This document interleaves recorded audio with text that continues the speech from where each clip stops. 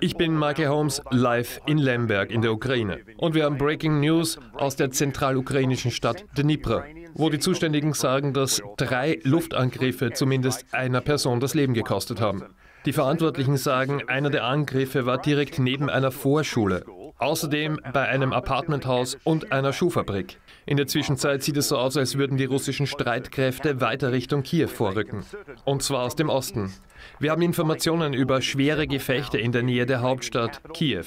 Die ukrainischen Streitkräfte versuchen eine Stadt zu befreien, die aktuell von den Russen okkupiert ist. Die Kämpfe, die wir jetzt hören, sind intensiv.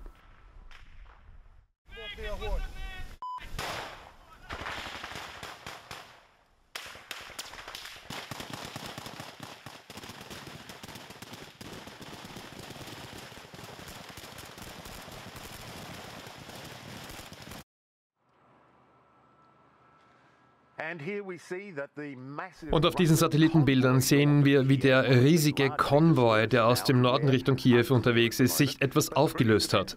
Wohin ist nicht ganz klar im Moment. Aber das englische Verteidigungsministerium berichtet, dass immer mehr russische Truppen versuchen, zentrale Städte in der Ukraine einzunehmen. Laut dem US-Verteidigungsministerium verwenden die Russen immer mehr Raketen für Angriffe aus größerer Distanz. Neue Satellitenbilder dokumentieren die Zerstörung durch die russischen Streitkräfte.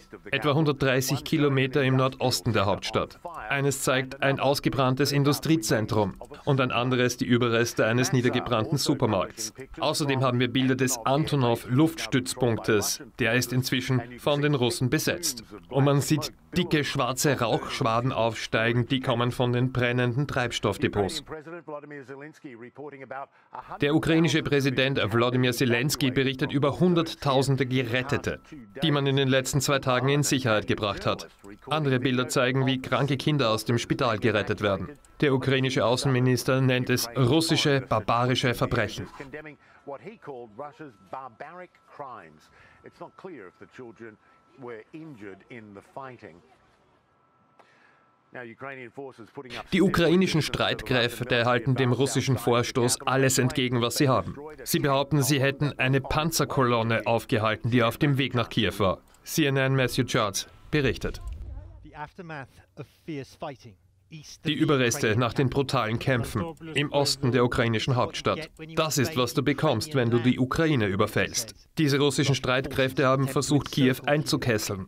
Die ukrainischen Streitkräfte behaupten, ein ganzes Regiment russischer Panzer eliminiert zu haben.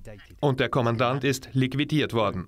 Und hier sehen wir Drohnenaufnahmen von einer russischen Armeekolonne, wie sie attackiert und zerstört wird. Die letzten Bilder der Schlacht von einem Ort, an dem jetzt die Ukraine wieder die Macht übernommen hat. Währenddessen gehen an der diplomatischen Front die Gespräche weiter. Diplomatische Gespräche auf ganz hoher Ebene zwischen Russland und der Ukraine hier in der Türkei. Die Außenminister haben sich in Antalya getroffen. Die ukrainischen Vertreter erzählen uns, dass die russische Seite entweder keinen Deal machen will oder kann.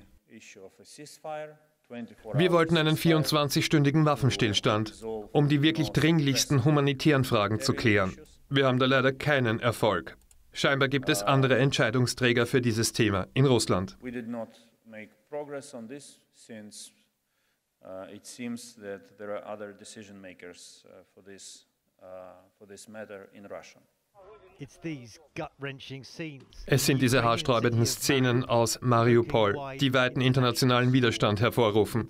Eine Geburtsklinik zerstört von den russischen Streitkräften. Laut den ukrainischen Offiziellen sind mindestens drei Personen getötet worden inklusive eines Kindes. Die schrecklichen Bilder zirkulieren momentan. Eine hochschwangere Frau verwundet während der Attacke.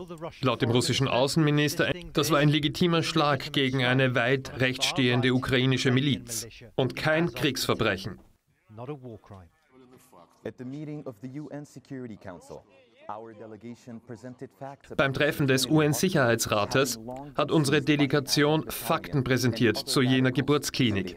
Man sieht auch Bilder, wie Schwangere und Krankenschwestern von eben dieser Miliz aus dem Spital gebracht werden. Aber in vielen anderen Städten der Ukraine warten die Menschen darauf, dass sie den Kampfhandlungen endlich entgehen können. Das sind die letzten Szenen aus Irpin, nördlich von Kiew, wo der Bürgermeister sagt, dass inzwischen mindestens die Hälfte der Population, die Hälfte der Bewohner geflohen ist. Ohne Frieden in Sicht leert sich die Hauptstadt der Ukraine, während die russischen Streitkräfte weiter vordringen.